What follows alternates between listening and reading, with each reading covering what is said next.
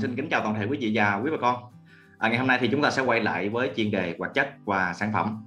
À, một cái hoạt chất khá là quen thuộc trên thị trường. À, gần đây thì bà con mình cũng có hỏi thăm về kênh. À, đó là acetamiprid à, ngày hôm nay thì chúng ta sẽ nói đến một sản phẩm mới của Mecomagi à, chứa thành phần là acetamiprid 25% và trong đó sẽ kết hợp thêm với imidarid thêm 10% nữa. À, như vậy thì đây sẽ là một cái sản phẩm mà có sự phối hợp của hai hoạt chất trong cùng một nhóm và chúng tôi đang phát triển sản phẩm này với dạng WKG dạng cốm và gói 100g để cho bà con chúng ta sử dụng cho phi 200 lít. À, như vậy thì ngày hôm nay chúng ta sẽ tìm hiểu xem cái sự phối hợp của hai hoạt chất này thì nó sẽ quản lý những đối tượng nào. Và chúng ta sẽ lưng phiên với những sản phẩm quản lý chích hút khác của Mecomagi như thế nào để chúng ta quản lý tính kháng hiệu quả nhất. Thì à, xin mời bà con chúng ta cùng quan sát video ngày hôm nay nhé. À, kính thưa quý vị và quý bà con thì à, như chúng ta cũng đã biết thì à, đại gia đình của neonicotinoid thì chúng ta đã nhắc đến khá là nhiều à, trong những video trước. Thì bao gồm có hai hoạt chất mà chúng ta sẽ nói ngày hôm nay là cái chính đó là acetamiprid và bên cạnh đó thì imidaloid chúng ta cũng đã dành một video riêng rồi. À, ngoài ra thì thiamethoxam thì gần đây chúng tôi cũng đã có trình bày một video riêng cho một cái sản phẩm đó là chích hút MKA à, ngoài ra thì sẽ còn một số hoạt chất chung nhóm đó là nitempiram à, thialoric thialoninin và dinotefuran thì đây là những cái hoạt chất trong cùng một nhóm. Thì có thể là bà con mình hiểu nôm na thì đây là những cái hoạt chất mà chúng ta sẽ không sử dụng hai lần liền kề nhau cho những hoạt chất này. Đó và chúng ta buộc phải lên phiên với những hoạt chất khác. Đó đây là cách mà chúng ta hiểu về neonicotinoid. À, kính thưa quý vị và quý bà con thì cũng sẽ tương tự như những video trước mà chúng ta nói về neonicotinoid và thiamethoxam ờ, uh, thì acetamiprid cũng sẽ tương tự như thế nó cũng sẽ tác động làm tê liệt hoạt động của cơ quan cảm nhận. Nicotinic acetylcholine ha. Thì cái này acetylcholine thì chúng ta đã nhắc hàng loạt trong những video trước rồi. Có nghĩa là cơ chế tác động nó cũng sẽ giống nhau và dẫn đến hệ thần kinh của côn trùng sẽ bị tê liệt ngừng ăn và chết. Nhưng ở acetamiprid thì người ta công bố rằng nó sẽ tác động nhanh chỉ sau 30 phút. Có nghĩa là sau khi bà con mình tiến hành phun xịt những cái sản phẩm chứa hoạt chất acetamiprid thì trong vòng khoảng 30 phút sau khi phun thì côn trùng sẽ có cái khả năng bị tê liệt rất là cao và dần dần nó sẽ ngừng ăn và nó sẽ chết. À, nó sẽ nhanh hơn à, so với cái chúng ta biết về thiamethoxam và imidazolic đó thì đây cũng là một cái sự khác biệt để cho ta thấy. À, tuy rằng cùng nhóm tác động cùng vị trí à, nhưng mà acetamiprid nó cũng sẽ có những cái khác biệt đó. Và cái độ độc của acetamiprid nó cũng sẽ khác biệt so với những hoạt chất khác bởi vì mỗi một cái hoạt chất thì nó sẽ có những công thức hóa học khác nhau. Thì bà con chúng ta hiểu tuy là nó cùng nhóm nhưng đâu đó nó cũng sẽ có những cái đặc tính khác nhau. À, còn nếu mà trong chuyên môn thì à, à những anh em nông nghiệp thì chúng ta sẽ biết là cái độ độc của acetamiprid sẽ quyết định ở chỗ cái liên kết của CN và CN và trong đó thì sẽ có một cái gốc bigidin nó kết hợp với clo. Thì đây là hai cái thành phần chính trong cái cấu tạo hóa học của nó để tạo ra cái độ độc của acetamiprid và đây cũng sẽ là một cái điều khác biệt với những cái anh em khác trong nhóm của nó. À, chính vì vậy thì chúng ta sẽ thấy là acetamiprid sẽ có một cái hiệu lực kéo dài có thể là lên đến vài tuần bởi vì đây là một cái hoạt chất lưu dẫn và sẽ tác động tốt trên những cái đối tượng gẹp hoặc là gầy. Mà những cái con này thì nó có xu hướng tấn công và nó trốn ở mặt phía dưới của lá cây. À, chính vì vậy thì rõ ràng chúng ta sẽ thấy là trên thị trường hiện nay cái acetamiprid là đăng ký chính là trên đối tượng gẹp sát trên cây cà phê.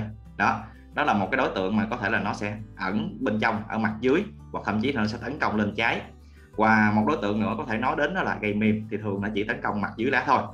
Và bà con chúng ta lưu ý nha đây là một cái hoạt chất chỉ tác động trên nhóm chích hút mà thôi nên nó sẽ không có tác động đến nhện mặc dù nhện cũng ở mặt dưới lá.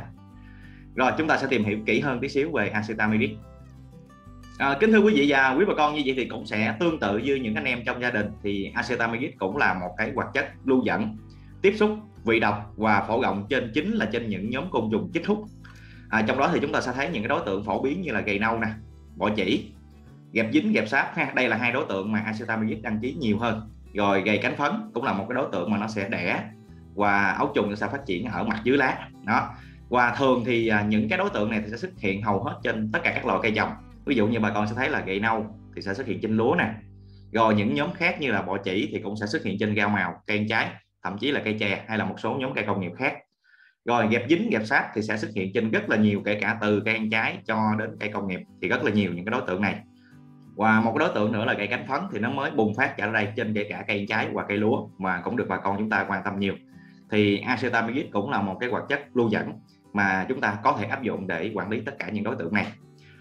Và sẽ có một cái thông tin mà bà con chúng ta nên lưu ý kỹ về acetamidit đó là cái khả năng nó diệt cả ấu trùng, thành trùng và trứng. Và đương nhiên là thuốc lưu dẫn và muốn đầy đủ những cái tác dụng này thì bà con chúng ta phải phun sớm. À, khi mà chúng ta thấy đối tượng vừa mới tấn công với một số thấp thì chúng ta có thể áp dụng ngay được rồi. Bởi vì khả năng lưu dẫn của nó kéo dài đến dài tuần. À, cho nên thì à, với cái hiệu lực đó sẽ giúp chúng ta quản lý sớm trên cái lứa đó hiệu quả hơn và chúng ta sẽ không tốn quá nhiều chi phí cho cái đợt quản lý đó. Rồi kính thưa bà con thì ở Mekong Magi hiện nay thì à, chúng tôi phát triển một cái sản phẩm chứa acetamiric 25% và bên cạnh đó thì chúng tôi sẽ kết hợp thêm 10% của imidaloric và sản phẩm này thì chúng tôi sẽ phát triển với dạng quy cách 100 gram. Và ở dạng quy cách G hay bà con mình còn gọi là dạng cốm à, với một cái hiệu dễ đọc đó là cho bà con mình dễ nhớ đó là diệt sạch MGA thì cái nhóm này chúng tôi sẽ đăng ký đặc trị trên nhóm chích thúc mà trong đó cụ thể hơn đó là cái nhóm dẹp sáp như vậy thì à, nhiều bà con sẽ hỏi là à, thiamethosam rồi acetameric imidaloric đều cùng nhóm và không thể lưng phiên lẫn nhau à, như vậy thì tại sao trong sản phẩm này lại kết hợp cả hai hoạt chất này? Thì à, kính thưa bà con thì như chúng ta cũng đã chia sẻ tuy là cùng nhóm nhưng mà mỗi một hoạt chất thì nó sẽ có một công thức hóa học khác nhau. Nó sẽ có những cái lý tính khác nhau sau khi mà nó hoạt động ở cây trồng. À, khi mà acetamidid và imidaloric kết hợp lại với nhau thì nó cũng sẽ có một cái ưu điểm nào đó về cái mặt bổ trợ à, để cho bà con chúng ta quản lý dịch hại được tốt hơn. Thì đây chúng tôi sẽ nêu ra khoảng bốn vấn đề mà để bà con mình dễ hiểu nhất à, kính thưa quý vị đầu tiên thì chúng ta sẽ thấy là cái acetamibid nó sẽ cho một cái hiệu quả sớm hơn. Như lúc nãy chúng ta có chia sẻ là nó chỉ trong vòng 30 phút sau khi bà con mình áp dụng phun xịt trên cây trồng. Thì cái dấu hiệu tê liệt của côn trùng chúng ta đã thấy rõ. Còn nếu như bà con mình xem lại video về imidaric và thiamethoxam thì có thể tác động này nó kéo dài từ vài giờ cho đến khoảng 24 giờ sau thì nó mới được cái tác dụng này. Rồi đương nhiên tất cả các nhóm này đều là lưu dẫn. À, cho nên thì cái hiệu lực kéo dài của nó sẽ rất là tốt và chúng ta cũng vừa mới trình bày thì acetamidid thì nó có thể quản lý nhóm côn trùng chết hút khoảng vài tuần. À, nếu mà chúng ta áp dụng phun sớm phun hiệu quả à, thì nó sẽ tác động đến những cái côn trùng ở bề mặt dưới của lá hiệu quả hơn. Rồi kính thưa bà con thì à, do cái đặc tính hóa học của mỗi một cái hoạt chất thì nó sẽ khác nhau. Cho nên thì cái hiệu lực ổn định về cái nhiệt độ của môi trường nó sẽ tác động trên mỗi một cái hoạt chất khác nhau. À, nhưng nếu như chúng ta kết hợp giữa acetamidid và imidaloric thì cái hiệu lực nó sẽ ổn định trong kể cả nhiệt độ môi trường cao hoặc là thấp. Có nghĩa là bà con mình có thể hiểu là à, có thể là nắng nóng nó sẽ ảnh hưởng đến cái hiệu lực của một cái hoạt chất nào đó. Hoặc là trong cái điều kiện nhiệt độ lạnh đó, thì vào cái mùa đông ở miền Bắc chẳng hạn thì nó cũng sẽ ảnh hưởng đến cái hiệu quả và hiệu lực của một cái hoạt chất nào đó. Nhưng khi mà chúng ta phối hợp giữa hai hoạt chất và cái nhiệt độ của mỗi hoạt chất nó khác nhau thì nó sẽ bổ trợ lẫn nhau cho cái việc hấp thu cũng như là kéo dài cái hiệu lực và ổn định cái tính quản lý đối tượng chích hút à, cho cái sản phẩm đó. Thì ở đây thì chúng tôi kết hợp giữa acetamidid 25% và imidaloid 10% là cũng vì mục đích à, quản lý từ giai đoạn sớm cho đến giai đoạn hiệu lực kéo dài à, đồng thời thì cũng sẽ ổn định hơn trong cái nhiệt độ sau khi bà con chúng ta phun xịt trong giai đoạn này.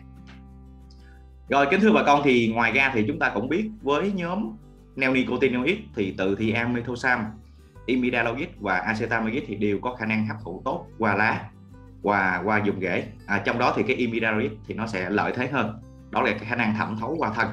À, cũng như là khả năng chúng ta có thể như lần trước là video về imidarit thì chúng tôi cũng có nói là bà con mình có thể tiêm cái cái cái hoạt chất này vào trong thân cây trồng à, để quản lý những cái đối tượng đục vào bên trong.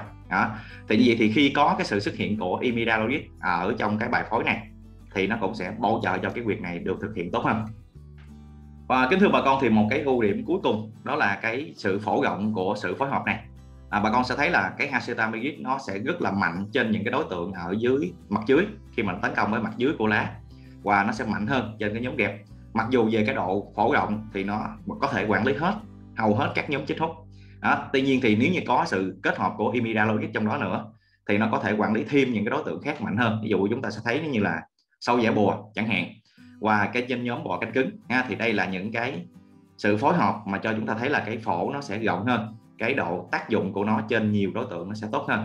Để hạn chế cái việc là chúng ta phải phối quá nhiều hoạt chất trong một lần phun à, trong khi thì áp lực của mỗi loại nó không nhiều à, nhưng mà do nó có nhiều đối tượng quá. Thì đây cũng là một cái sự kết hợp à, để cho bà con chúng ta tiện dụng à, trong cái quá trình mà chúng ta sử dụng để quản lý nhiều đối tượng. Rồi như vậy thì à, từ bốn cái ưu điểm này à, cho cái sự phối hợp giữa acetamidid và imidarid thì để bà con chúng ta có thể yên tâm à, chúng ta sẽ có thêm một cái giải pháp lựa chọn nữa à, từ Mecomagi bằng sản phẩm diệt sạch MK gói 100g và chúng ta có thể áp dụng cho phi 200 lít. À, kính thưa quý vị và quý bà con thì à, gần đây thì bà con cũng thấy là một số sản phẩm mới của Mecomagi thì à, chúng tôi phát triển ở dạng WKG có nghĩa là dạng cốm. Thì đây là một cái ưu thế rất là lớn mà chúng ta cũng đã tìm hiểu qua một số video trước đặc biệt là với những cái sản phẩm mà quản lý côn trùng chết thuốc ở dạng thuốc lưu dẫn thì bà con sẽ thấy là nếu mà dạng quy capsid thì nó sẽ hấp thu nhanh hơn để chúng ta hạn chế nguy cửa trôi cũng như là ảnh hưởng của cái thời tiết nắng nóng và điều này nó sẽ giúp cho an toàn cho cái cây trồng của mình hơn. À, đặc biệt thì với những cái sản phẩm chích hút lưu dẫn thì thường bà con sẽ có áp dụng cho giai đoạn ra hoa chuẩn bị sổ nhị hoặc là giai đoạn trái non đó để chúng ta quản lý bò chỉ rồi bò dò dôi hay là một số đối tượng chích thuốc khác. Thì hầu như chúng ta sẽ sử dụng thuốc lưu dẫn nhiều và chúng ta chọn thuốc lưu dẫn dạng WKG thì cái tính an toàn của nó sẽ cao hơn hiệu quả sẽ cao hơn bởi vì nó hấp thu tốt, tránh được cái việc rửa trôi và quang phân do cái ánh sáng. Và cái độ hấp thu nhanh thì nó sẽ ít ảnh hưởng đến cái bộ lá cũng như là những cái cơ quan non mới như là hoa hoặc là trái non. Và với những cái sản phẩm của neonicotinoid thì nó sẽ giúp cho cái việc thẩm thấu qua cái lớp sáp của lớp, của lá đi vào bên trong hiệu quả hơn. Đó, thì đây là những cái đặc tính ưu điểm của cái dạng WKG và đương nhiên WKG thì bà con mình sử dụng cái cái lượng thuốc trên một lần phun nó không có nhiều cho nên là chúng ta rất là dễ dàng hòa tan. Hòa tan rất là tốt. Và chúng ta rất là dễ dàng phối hợp với những sản phẩm khác của Mecomagi à, theo cái khuyến cáo trên nguyên tắc tránh những chất kỹ nha thì bà con mình phối rất là dễ dàng rất là nhanh chóng và hiệu quả. Và thường thì tuy là dạng WKG nhưng mà những cái hoạt chất à, những cái nồng độ mà Mecomagi phát triển gần đây thì chúng ta thấy là có một cái giá thành rất là dễ chấp nhận. Mặc dù là à, về nồng độ cũng như là khuyến cáo thì à, có thể mang lại một cái hiệu quả nhất định và tùy theo cái áp lực thiệt hại thì à, chúng ta có thể gia tăng chi phí một chút xíu khi mà chúng ta phải phối hợp thêm à, với những cái hoạt chất khác. Còn nếu như trong áp lực thông thường thì bà con mình sẽ thấy là những cái khuyến cáo của chúng tôi thì có một cái giá thành tương đối dễ chấp nhận hơn à, so với những cái giải pháp khác. À, kính thưa quý vị và quý bà con thì à, do cái acetamibid thì nó cũng cùng nhóm với imidacloprid và thì thiamethoxam. Và đây là những cái hoạt chất mà chúng ta đã trình bày rất là rõ trong những video trước rồi. À, cho nên thì ở đây chúng tôi sẽ gom ngắn gọn lại những cái thông tin thì nó cũng sẽ tương tự như nhau và chúng ta sẽ làm sao hiểu về cái liều lượng cũng như là cái cách mà chúng ta chia ra những cái lần phun để chúng ta quản lý tính kháng. Là đây là những cái điều mà nó sẽ quan trọng hơn. Thì như vậy thì gần đây bà con mình sẽ ghi nhận được hai sản phẩm mới từ Mecomagi mà cũng đều là 35% mà cũng đều là dạng WKG và cũng đều có khuyến cáo là 100g cho một phi 200 lít. Đó, thì kính thưa bà con như vậy thì vô tình hai sản phẩm này cùng quy kết à, cùng nồng độ cùng dạng và cũng là cùng nhóm luôn. Như vậy thì chúng ta lưu ý kỹ. Sản phẩm gần đây nhất đó là bà con mình áp dụng sản phẩm chích hút MKA thì sẽ có hoạt chất là thia methoxam 35% có nghĩa là đơn hoạt chất và chứa 35% qua sản phẩm mới ngày hôm nay chúng ta tiếp nhận đó là diệt sạch MKA thì nó sẽ có hoạt chất là acetamiprid 25% cộng với imidarid 10% có nghĩa là sản phẩm mới nó sẽ có hai hoạt chất và sản phẩm chúng ta cũng là mới nhưng mà chúng ta biết trước đây đã phát triển rồi là đơn hoạt chất. Và đều là dạng cốm với kép gạch. Đều có liều lượng phun khuyến cáo giống nhau đó là 100 gram cho phi 200 lít trong điều kiện áp lực dịch hại thông thường à, cho những cái nhóm chích hút. Rồi kính thưa bà con như vậy thì bà con sẽ hỏi là bây giờ nó cùng nhóm thì có luân phiên được hay không? À, kính thưa bà con có thể là trên nguyên tắc gì lý thuyết thì chúng ta sẽ nói là không. À, không được liên phiên hai lần liên tục trong cùng một nhóm. À, thật ra là chúng ta nói trên cơ sở lý thuyết là như thế. Nhưng lỡ như bà con mình có luân phiên thì là thật ra là cũng không vấn đề gì, gì nha quý vị. Có nghĩa là chúng ta không ưu tiên làm nhưng mà chúng ta lỡ như có làm thì nó cũng không phải là nó gây tính kháng ngay lập tức đâu quý vị. À, bởi vì nếu như mà trong chuyên môn thì chúng ta sẽ biết là acetamiprid và imidacloprid là thế hệ thứ nhất và cái thiamethoxam là thế hệ thứ hai. Đó nhưng mà mặc dù nó cùng nhóm luôn à, nhưng mà nếu mà chúng ta có lỡ như có lưng phiên một lần trong một cái lứa gầy đó thì bà con cũng không nên quá hoang mang. À, tuy nhiên thì để sắp xếp về cái an toàn cũng như là cái quản lý tính kháng được tốt hơn thì chúng ta phải có một cái cử ở giữa là một cái nhóm hoạt chất khác hoàn toàn. À, để chúng ta tự tin rằng là chúng ta sẽ quản lý tốt tính kháng cho một cái lứa gầy hay là một cái lứa ghẹp đó. À, vậy thì chúng ta sẽ tìm hiểu thêm một số sản phẩm trước đó mà chúng tôi đã có chia sẻ rồi. Rồi kính thưa bà con như vậy thì nếu như nói về riêng dạng cốm thôi đó có nghĩa là dạng WG hết thì chúng tôi sẽ có một cái bộ sản phẩm chích hút dạng cốm. Thì chúng ta sẽ có sản phẩm mới chúng ta vừa mới nói là diệt sạch MKA chứa hai hoạt chất. À, chúng ta sẽ có lưng phiên với một cái nhóm khác hoàn toàn với nhóm này đó là cái bimitrozin đó thì cái sản phẩm này chúng tôi cũng đã từng phát triển một cái video ghi à, để cho bà con mình quan sát rồi. Rồi gần đây nhất thì chúng ta gặp thiamethoxam thì chúng ta cũng vừa mới nói tới. À, như vậy thì nếu như trong một lưỡi gầy một lưỡi gẹp mà chúng ta phải phun 3 lần liên tục đó mà chúng ta có thể chọn dạng WG hết. Thì chúng ta có thể lưng phiên để tránh acetamiprid nó lặp lại lần thứ hai với thiamethoxam và chúng ta sẽ dùng bemitrozin để ở giữa. À, vì chúng ta hiểu là chúng ta sẽ có ba lần phun. Và ba lần này chúng ta hoàn toàn có thể lưng phiên tính kháng lẫn nhau. Đó mặc dù là chúng ta cũng chỉ chọn là một dạng cốm mà thôi. Đó. Rồi thì đây là cách để chúng ta hiểu được cái bộ sản phẩm của Mekong Magi đang phát triển. Rồi kính thưa quý vị và quý bà con thì bà con cũng lưu ý rằng thì không phải là hoạt chất nào mà chúng ta cũng sẽ phun được trong cái giai đoạn trổ hoa, đặc biệt là giai đoạn hoa chở gỗ hoặc là với những cái cây trồng nó có một cái đặc tính đó là phải nhờ ông thụ phấn thì cái tỷ lệ thụ phấn mới cao được, ha. Cho nên chúng ta lưu ý rằng với nhóm neonicotinoid từ sản phẩm mới, diệt gầy cho đến sản phẩm chích hút mà chúng ta đã phát triển trước đây, cũng như là trên sản phẩm diệt gầy bằng bimitrozin thì tất cả đều có ảnh hưởng đến ong khi mà bị dính trực tiếp lên thuốc. Cho nên chúng ta sẽ không phun trong giai đoạn hoa đang trổ gột. Cũng như trong giai đoạn mà ong thụ phấn đang phát triển nhiều thì chúng ta sẽ không áp dụng. Mà chúng ta phải có một cái khuyến cáo rõ ràng. Và cái này chúng tôi cũng đã có khuyến cáo trên những video trước rồi. Đó là gì? Để quản lý tốt hầu hết tất cả những đối tượng chích hút. Và đây đều là những cái sản phẩm lưu dẫn mạnh, hiệu lực kéo dài. Cho nên, bà con mình có thể phun sớm hơn một tí xíu khi mật số nó còn thấp. Để chúng ta tận dụng được cái khả năng lưu dẫn vào bên trong kéo dài một, hai tuần đó. Một hai tuần đầu cái hiệu lực nó còn rất là tốt nên là bà con mình phun sớm một vài ngày không sao. Và lúc đó, chúng ta chỉ cần sử dụng một sản phẩm thôi, và chúng ta chọn liều thấp nhất, thì cũng có khả năng nó mang lại một cái hiệu quả tốt. Đó.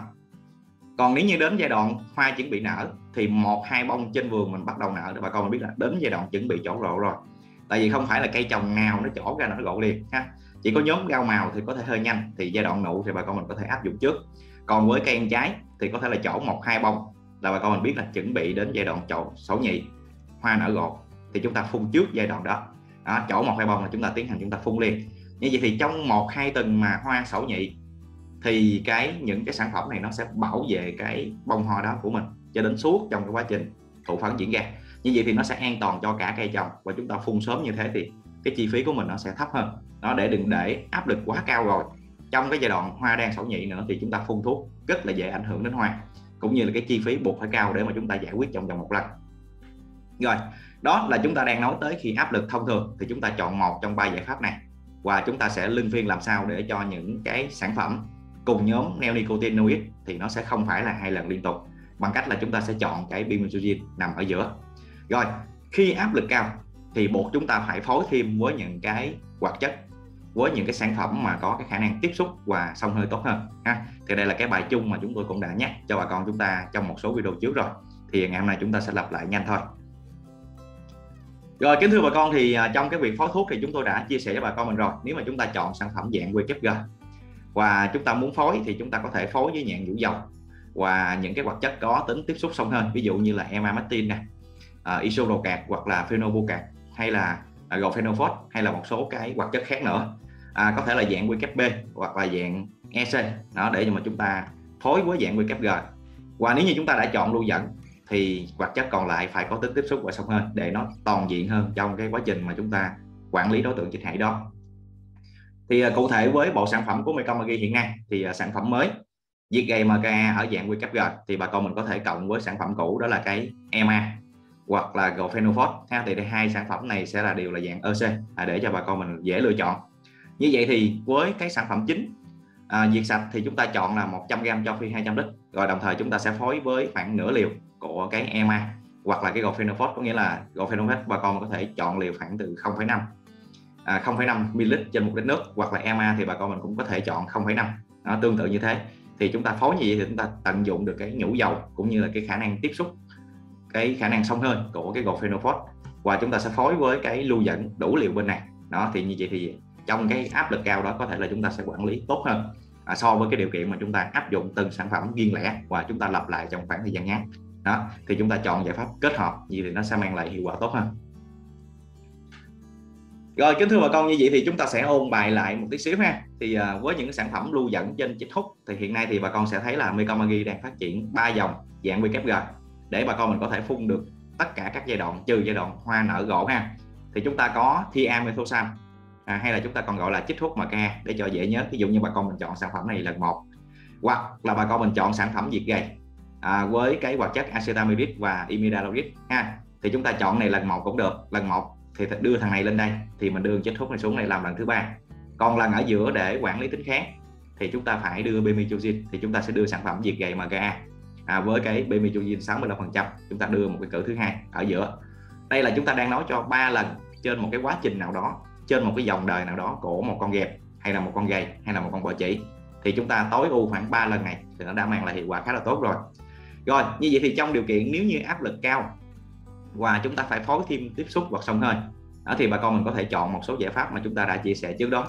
Có gofenophos có emametin hoặc là chúng ta có thể chọn isorocat để chúng ta phối lại trong mỗi lần. Có nghĩa là một lần chúng ta chọn lưu dẫn thì chúng ta sẽ kết hợp với một tiếp xúc lần thứ hai chúng ta tiếp tục chọn lưu dẫn thì chúng ta sẽ chọn kết hợp một tiếp xúc khác. Và tiếp tục lần thứ ba thì chúng ta cũng sẽ cộng như thế. Đây là trên nguyên tắc phối hợp giữa lưu dẫn và tiếp xúc chứ không phải lần phun nào.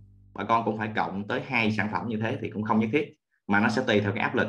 À, có thể là áp lực lần đầu nó ít à, thì chúng ta có thể chọn một sản phẩm.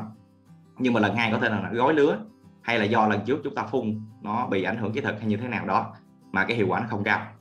Thì lần thứ hai chúng ta sẽ cộng hai sản phẩm. Và lần thứ hai đã hiệu quả rồi lần thứ ba chúng ta lặp lại thì có thể là mặt số nó không còn cao nữa thì chúng ta có thể chọn một sản phẩm thôi. Thậm chí là chúng ta chỉ cần chọn một cái góc tiếp xúc mà chúng ta phun với liều tương đối thấp thôi thì cũng đã mang lại cái hiệu quả cho lần thứ ba rồi. À, chứ không phải là nhất thiết lần nào cũng phải cộng đầy đủ như thế này thì cái chi phí à, trên một cái lần quản lý đó nó rất là cao. Mà chúng ta sẽ dựa trên cơ sở đó là cái mặt số cũng như là cái độ gây hại của cái nhóm chích hút đó nó đang hoạt động như thế nào mà thôi à, ngoài ra thì à, một số cái nhóm tiếp xúc thì bà con cũng sẽ thấy là nó sẽ có những cái đặc tính phổ rộng hơn à, trên những cái đối tượng khác ví dụ như sinh sâu hay là trên kể cả đối tượng nhện thì à, chúng ta có thể lưu ý hơn với gofenophos và cái emamectin và chúng ta phối hợp với chích hút bên này thì à, chúng ta sẽ quản lý được nhiều đối tượng hơn. À, kính thưa quý vị và quý bà con thì ngày hôm nay chúng ta đã tiếp nhận thêm một cái thông tin mới và một cái sản phẩm mới nữa à, để chúng ta bổ sung vào cái quy trình à, để lưng phiên tính kháng và chúng ta sẽ quản lý đối tượng chích hút được hiệu quả hơn thì à, mong là với giải pháp này à, sẽ cho bà con chúng ta thêm một sự lựa chọn tốt an toàn và có một cái chi phí hợp lý nếu bà con cần tư vấn kỹ thuật và thăm vườn, bà con có thể liên hệ ngay 4 số điện thoại đang hiển thị trên màn hình để được hỗ trợ tận tình và chi tiết các thông tin về sản phẩm cũng như cách sử dụng và kỹ thuật cây trồng. Bà con có thể đặt hàng trực tiếp qua các số điện thoại trên video, Mecomari giao hàng trên toàn quốc. Ngoài ra, bà con có thể đặt hàng qua website mecomari.com hoặc website phun thuốc tự động.com. Sản phẩm hiện đã có mặt trên các sàn thương mại điện tử như Shopee, Lazada và Sen Đỏ. Bà con có thể dễ dàng tìm kiếm tên sản phẩm bất kỳ kèm thương hiệu Mecomari và đặt hàng nhanh chóng. Mọi thắc mắc trong quá trình đặt hàng trên Shopee, Lazada và Sen Đỏ, bà con hãy liên hệ ngay ba số điện thoại trên đây để được hỗ trợ. Ngoài ra, để tìm hiểu ngắn gọn thông tin về các sản phẩm của Mecomari, bà con đừng quên nhấn vào nút đăng ký kênh Mecomari bán hàng để theo dõi kênh. Cảm ơn quý bà con đã luôn đồng hành và tin tưởng bộ sản phẩm của Mecomari trong thời gian vừa qua. Kính chúc quý vị và quý bà con sức khỏe và canh tác tốt. Xin chào và hẹn gặp lại quý bà con trong các video tiếp theo.